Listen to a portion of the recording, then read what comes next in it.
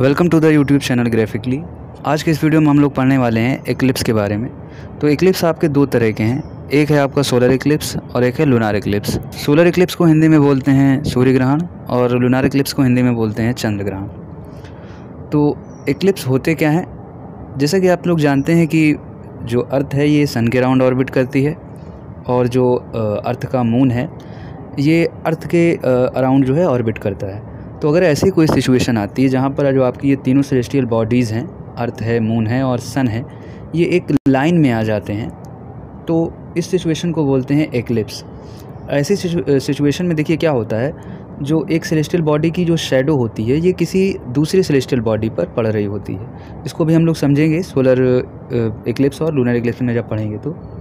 तो बेसिकली अगर हम लोग एक्लिप्स की डेफिनेशन देखें तो डेफिनेशन में ये होगा कि जब जो तीनों सेलेस्टियल बॉडीज़ हैं, ये एक लाइन में हो जाए और किसी एक सेलेस्टियल बॉडी की जो शेडो हो शेडो है वो किसी दूसरी सेलेस्टियल बॉडी पर पड़े तो ऐसी सिचुएशन को बोलते हैं, ऐसे फिनोमेना को बोलते हैं एक्लिप्स ये आपका दो तरह का था सोलर एक्लिप्स और लूनार एक्लिप्स तो पहले देख लेते हैं सोलर एक्लिप्स के बारे में और इसके टाइप्स को देखेंगे. तो देखिए सोलर एक्लिप्स क्या होता है?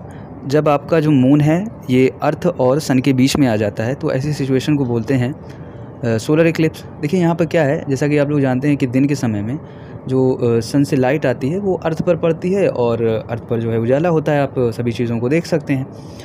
तो यहाँ पर क्या है, जैसा कि आप देख रहे हैं तो यहाँ पर आप देख रहे हैं जो मून है, ये सन से आने वाली लाइट जो कि अर्थ पर पहुँचनी चाहिए थी, इसको ब्लॉक कर देता है। तो यहाँ पर क्या होता है, जो मून की शेडो है, वो अर्थ पर पड़ती है। अभी देखिए अर्थ के हर एक रीजन पर नहीं पड़ती है, कुछ एक स्पेसिफिक रीजन पर ही पड़ती है। तो यहाँ पर क्या हो जाता है, जब उस रीजन में आप देखेंगे तो एक बिल्कुल ब्लैक शेप का दिखेगा, अंधेरा टाइप का दिखेगा यहाँ पर। तो ऐसी सिचुएशन को बोलते हैं, ऐसे फिनोमेना को बोलते हैं सोलर इक्लिप्स अब ये भी आपका तीन तरह का है। तीन तरह में आपका पहला जो है वो है टोटल सोलर इक्लिप्स दूसरा है आपका पार्शियली सोलर इक्लिप्स और थर्ड और लास्ट है आपका एनुलर सोलर इक्लिप्स ये देखिए बेसिकली डिपेंड करता है कि जो मून है, इसकी पोजीशन क्या है मतलब दूर है कि पास में है, वो आपका अलग एक है बट यहाँ पर हम देखने वाले हैं कि जो तीनों सिचुएशंस हैं, जो तीनों एक्लिप्सेस हैं, वो क्या क्या हैं। तो देखिए, यहाँ पर जैसा कि आप लोग जानते हैं कि जो मून है, ये भी ऑर्बिट करता रहता है, ये भी अपना मूव होता रहता है, और जो अर्थ है, ये भी मूव होती रहती है। तो क्या होता है, अगर हम टोटल सोलर इक्लिप्स की बात करें तो जब तीनों जो सेलेस्टियल बॉडीज़ एक परफेक्टली एक लाइन में होते हैं तो ऐसी सिचुएशन में क्या होता है, जो सन होता है, वो पूरी तरह से कवर हो जाता है, वो दिखाई नहीं देता है, बल्कि केवल आपको मून दिखाई देता है, और मून की शेडो मतलब अगर आप अर्थ से देखते हैं तो पूरा तरह से आपको मून दिखाई देगा, और सन दिखेगा ही नहीं। तो ऐसी सिचुएशन में क्या हो गया, जो सन था, वो पूरी तरह से सन की जो लाइट थी, पूरी तरह से ब्लॉक हो गई। तो अगर पूरी तरह से ब्लॉक हो जाती है तो उसको बोलते हैं टोटल सोलर इक्लिप्स बट अगर कुछ पोर्शन में जो सन की लाइट है, वो दिख रही है आपको। मतलब थोड़ा सा आपको जो है सन की लाइट दिख रही है पार्सली दिख रहा है तो उसको बोलते हैं पार्सली सोलर इक्लिप्स।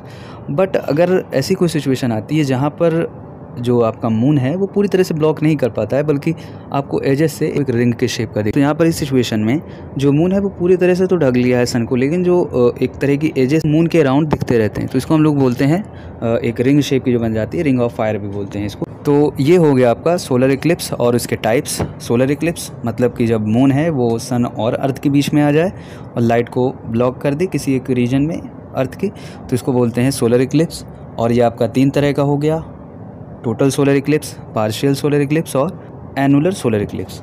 इसके बाद चलते हैं लुनार इक्लिप्स की तरफ़। तो देखिए, लुनार इक्लिप्स में क्या है? यहाँ पर जब अर्थ जो है, ये सन और मून के बीच में आती है तो इस सिचुएशन को बोलते हैं, इस फिनमिना को बोलते हैं लूनार एक्लिप्स यहाँ पर क्या होता है, जो अर्थ है, ये सन से आने वाली लाइट को ब्लॉक कर देता है, जो कि मून पर पहुँचती। तो यहाँ पर हो गया क्या? कि जो अर्थ है, अर्थ की शेडो मून पर पहुँचती है। और इस सिचुएशन को बोलते हैं हम लोग लूनार इक्लिप्स ये आपका दो तरह का है। दो तरह में इसमें एक है आपका टोटल लूनार इक्लिप्स और एक है partial lunar eclipse total lunar eclipse में क्या है? जब पूरी तरह से अंधेरा हो मून पर तो उसको बोलेंगे टोटल लूनार इक्लिप्स बट अगर कुछ एक पोर्शन में मून पर लाइट पहुँच रही हो, पूरी तरह से उस पर अंधेरा ना हो तो ऐसी सिचुएशन को बोलते हैं, ऐसे फिनोमेना को बोलते हैं पार्शियल लूनार इक्लिप्स तो यहाँ तक आई थिंक आप समझ गए होंगे कि जो आपका इक्लिप्स है, वो दो तरह का था। Solar eclipse lunar eclipse solar eclipse में क्या है? जब मून जो है अर्थ और सन के बीच में आ जाए, और लूनार इक्लिप्स क्या है? जब अर्थ जो है मून और सन के बीच में आ जाए, और ये आपका देखा आपने तीन टाइप्स का सोलार इक्लिप्स टोटल पार्शियल और एनुलर और लुनार इक्लिप्स में आपका दो टाइप पार्शियल और टोटल तो यहाँ तक आई थिंक आपको समझ में आया होगा। और अगर वीडियो अच्छा लगा हो तो वीडियो को शेयर सब्सक्राइब और लाइक करें और बेल आइकन प्रेस करें ताकि आपको नेक्स्ट वीडियो की नोटिफिकेशन मिलती रहे। और आज का वीडियो यहाँ पर एंड करेंगे और इसके नेक्स्ट वीडियो में पढ़ेंगे किसी नेक्स्ट टॉपिक को।